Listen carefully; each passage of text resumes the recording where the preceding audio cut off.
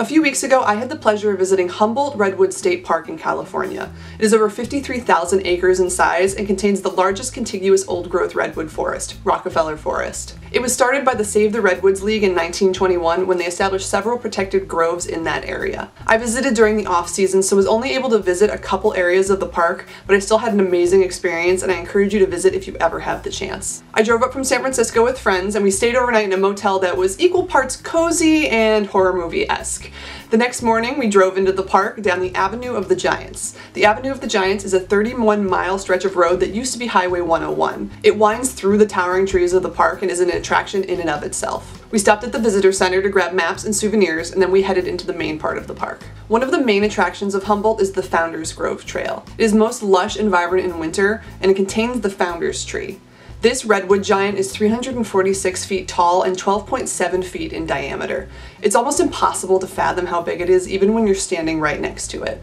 Giants like this can be over 2,000 years old. The grove also contains the fallen Dyerville giant. Before it fell in 1991, it stood at over 360 feet tall, even taller than the founder's tree.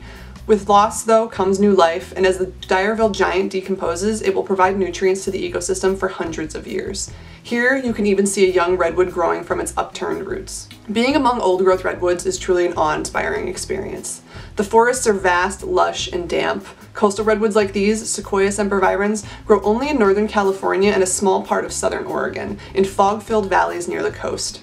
Because of their age and height, ferns, mosses, and even other trees grow in their canopies. They survive lightning strikes and fires, sometimes bearing fire caves like this one. While it might look rather dire, the tree itself is still thriving. Because of a rampant logging in the 20th century, less than 5% of old-growth redwoods remain. The small forests we do have left are under threat from disease, climate change, and fragmentation. I encourage you to support organizations that protect redwoods and to visit redwood parks if you ever have the chance, as it is an astounding and once-in-a-lifetime experience.